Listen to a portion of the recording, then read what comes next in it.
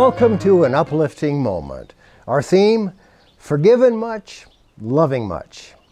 Two men found themselves in debt to the same lender. One owed the equivalent of what he could earn in about 500 working days. The other owed the equivalent of what he could earn in about 50 working days.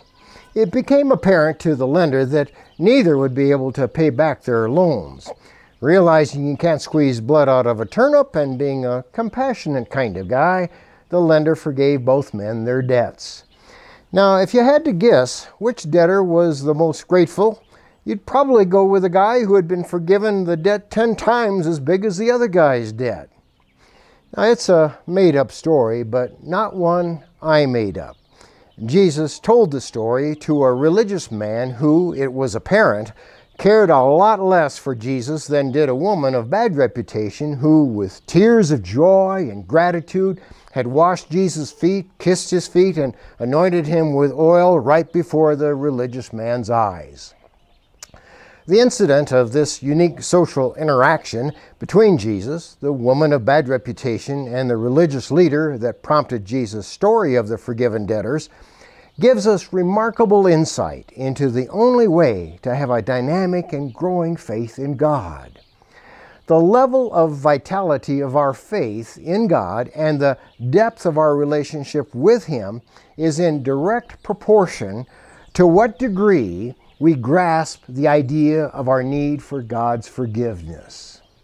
The love the woman of bad reputation had for Jesus was evidence of her having been forgiven, likely because of an earlier encounter with Jesus. The amazing contrast between the woman of bad reputation and the religious leader in how they related to Jesus reveals a fundamental spiritual principle. The less we see our need to be forgiven by God, the less of God we experience. And the more we comprehend and respond to our need for God's forgiveness, the more of Him we experience. A first step in getting right with God is to acknowledge our need for His gracious and merciful forgiveness. This is the reason for Christmas. God's entering our world as Jesus. Good Friday, Jesus dying on a cross for our sins. And Easter, Jesus' resurrection, affirming that He was who He said He was, God come to us in order to save us from our sinfulness. When a person responds to this truth in a positive way, they've entered into a right relationship with God. God's forgiveness is the key. Now, those of us who have taken this step of accepting Jesus as our forgiver can easily fall into the trap of the religious guy with whom Jesus had the conversation. We can get to thinking we live a pretty good life, don't do terrible things, and need little forgiveness. Ironically, as we become more religious, we can drift from a close and dynamic relationship with God.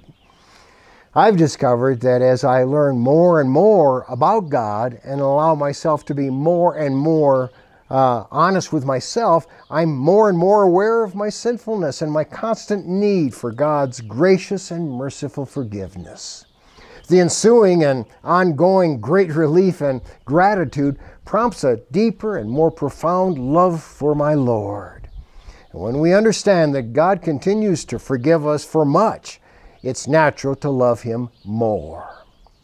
Jesus, referring to the woman of bad reputation positioned at his feet as he addressed the religious man, said, Therefore I tell you, her many sins have been forgiven, for she loved much. But he who has been forgiven little loves little. Thank you for joining me for this an uplifting moment.